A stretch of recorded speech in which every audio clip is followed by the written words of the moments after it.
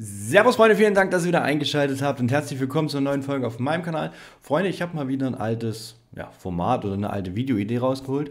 Und zwar habe ich für euch fünf Lifehacks, Schrägstrich Tipps für euch, die euch euer Shisha-Leben eventuell ein bisschen leichter machen. Vielleicht ist für den einen oder anderen ein neuer Tipp dabei. Vielleicht kennt ihr auch alle Tipps schon, wer weiß.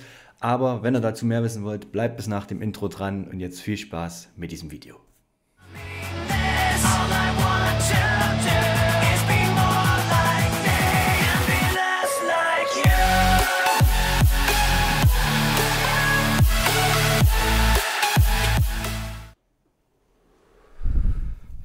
Ja, Freunde, kommen wir somit zum ersten. Ich rede jetzt mal von Tipps, weil es sind nicht wirklich Lifehacks unbedingt, weil ich glaube, das Rad erfindet man nicht mehr neu und viele Lifehacks sind bekannt. Also rede ich von Tipps. Der erste Tipp von mir ist, ihr habt zum Beispiel eine Bowl und merkt beim Rauchen oder wollt gerade anfangen mit Rauchen, fuck, ich habe zu wenig Wasser drin. Klar könnte man jetzt hier wie bei so einer Steckpfeife einfach die Rauchsäule abnehmen und das Wasser nachfüllen. Aber was ist, wenn ihr zum Beispiel eine zum Schrauben habt oder vielleicht doch eine Steckpfeife und ihr seid einfach zu faul, das Ding abzunehmen? Nehmt einfach hier oben euren Kopf ab, den nehmt ihr einfach ab und nehmt euch einen Messbecher, wenn ihr einen zu Hause habt und füllt ein bisschen Wasser rein. Dann macht ihr den Kopf wieder drauf, zieht dran und merkt vielleicht, okay, ja, ein bisschen was fehlt noch, schüttet ihr wieder was mit dem Becher nach, steckt den Kopf wieder drauf und so ist garantiert, dass ihr für euch den perfekten Wasserstand findet, falls ihr eventuell mal zu wenig Wasser drin habt. Bei solchen durchsichtigen Bowls ist das natürlich relativ easy, da müsst ihr diesen Tipp nicht anwenden, aber wer von euch vielleicht eine schwarze Bowl hat, wo man nicht durchgucken kann und die vielleicht auch keinen Füll oder, kein Füllstandfenster hat, nenne ich es jetzt mal, ist das mit dem Messbecher eigentlich eine gute Idee oder eine gute Variante, um für euch den perfekten Wasserstand zu finden. Ja, Freunde, der nächste Tipp ist für, ich will nicht sagen wichtig, aber es ist auch eine Idee, wie ihr zum Beispiel, wenn jetzt wieder wärmer wird und wir alle ballern auch draußen mal eine Pfeife. Und es geht vielleicht ein kleines Lüftchen und ihr merkt so, oh, dadurch wird die Kohle ein bisschen angeheizt und der Kopf wird zu warm. Und ihr denkt euch jetzt so, scheiße, ich habe meinen Windschutz vergessen.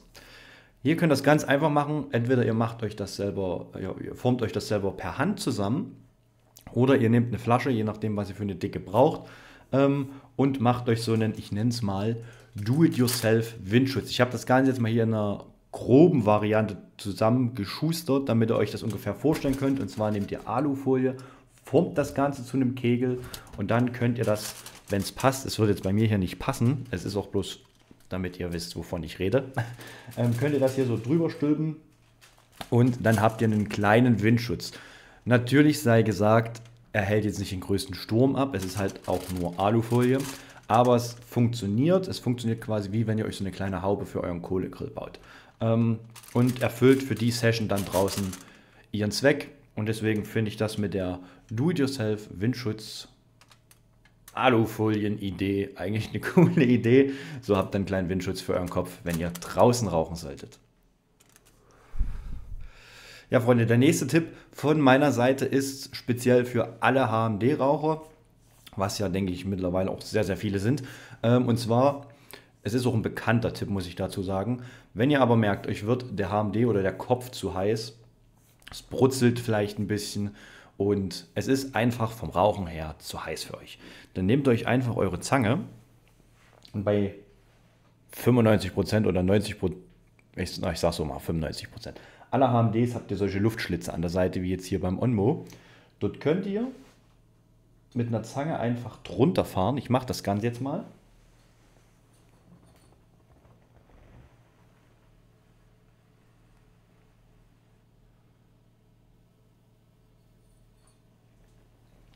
Und pustet quasi die Hitze ein bisschen vom Kopf runter. Das kühlt in erster Linie den Kopf und ihr könnt dadurch entspannt weiter rauchen. Wahlweise könnt ihr den HMD natürlich auch ein bisschen drehen, um die Hitze nochmal auf eine andere Stelle vom Tabak zu verteilen. Aber so kriegt ihr euren Kopf gefühlt, wenn eure Pfeife nicht wie eine Stimulation zum Beispiel einen Kopfkühler hat oder so, dann ist das eine coole Idee oder eine coole Variante, seinen Kopf zu kühlen, um dann entspannt und lockerflockig weiter zu rauchen. Ja, Freunde, der nächste Tipp geht an alle Mehrlochkopf-Raucher. Mehrlochkopf ist ja gerade so ein Ding bei uns, was immer wieder beliebter wird. Auch mich hat es angefixt, muss ich dazu ehrlich sagen. Ähm, ich habe sehr viele Mehrlochköpfe zu Hause. Wir kennen Mehrlochköpfe. Ich habe jetzt hier mal zwei verschiedene Varianten. Einmal hier die Cosmo Bowl und einmal hier den Solaris Funnel. Ähm, es ist vom Prinzip her, was ich gleich sage, dasselbe. Ähm, aber um euch das zu veranschaulichen, weil der hat ja ein gerades Depot und die Cosmo Bowl hat in dem Fall so ein kleines, ja, gefäßförmiges Depot, nenne ich es jetzt mal. Da gibt es nämlich diese wunderschönen Siebe. Ich glaube, Selflex-Siebe heißen die. Kann man sich auch ganz easy peasy nachschustern, wenn ihr sowas könnt, wenn ihr sowas da habt, sowas ähnliches. Und dann könnt ihr euch die nämlich, ich hoffe, der fällt jetzt hier nicht raus, hier so reinlegen und dadurch habt ihr keine Gefahr für euch, oder Gefahr in Anführungsstrichen, dass euch Tabak durch die Löcher, die normalerweise etwas größer sind, ähm, in die Bowl reinfällt und euch damit die Bowl versaut, was jetzt am Raucherlebnis nicht großartig was ändert oder es verstopfen euch die Löcher und ihr habt einen schweren Zug. Das Ganze könnt ihr auch bei einer Cosmo Bowl oder bei anderen Köpfen machen. Dort könnt ihr euch diese Siebe sogar so ein bisschen zurechtdrücken, dass die wirklich schön unten auf dem Boden sitzen und dann habt ihr keine Gefahr mehr, dass euch da ein Loch verstopft oder dass euch Tabak durch das, durch das Kopfloch in die Pfeife und Bowl fällt. Ja, Freunde, und Tipp Nummer 5. Ähm, wir kennen es alle, wir machen unsere Bowl nach der ein oder anderen Session endlich mal wieder sauber. Dafür gibt es diese schönen Schaumstoffbürsten, wo wir natürlich einwandfrei die Ränder sauber machen können. Aber man kommt damit immer relativ schlecht auf den Bowl-Boden. Dafür gibt es seit längerem, ich glaube, ich habe diesen Tipp auch schon mal erwähnt, bin mir aber nicht ganz sicher, gibt es sogenannte Reinigungsperlen. Die sind jetzt hier von Rauchkultur. Ich gebe zu, die sind ein bisschen teuer, gibt es auch mittlerweile günstiger. Ähm, das sind kleine Porzellankugeln hier in dem Fall. Die schüttet ihr einfach rein, gebt ein bisschen Fit rein und dann einen kleinen Schluck Wasser, dass das Ganze quasi wie so ein bisschen schwimmt. Und dann könnt ihr die Bowl so richtig schön so ein bisschen drehen. Ihr könnt bei den Rauchkulturperlen, falls ihr diese haben wollt oder diese habt, den ähm, Korkdeckel, wenn ich drauf komme, den Korkdeckel auch oben auf die Bowlöffnung stopfen und dann könnt ihr die Bowl richtig schütteln. Da kriegt ihr zum Beispiel auch die Ränder sauber, was ihr sonst mit einer Bürste macht. Aber speziell für einen Bowl-Boden sind solche Reinigungsperlen in Kombination mit Fit und Wasser ein echter Gamechanger und eure Bowl sieht danach aus wie neu.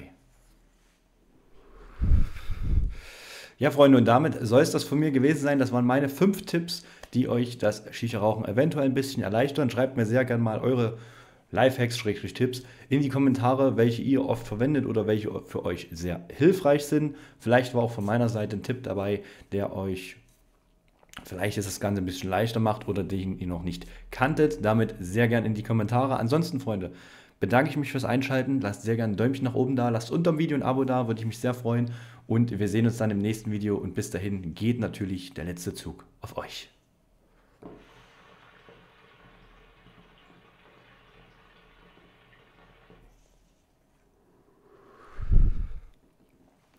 Wieder schauen und reingehauen.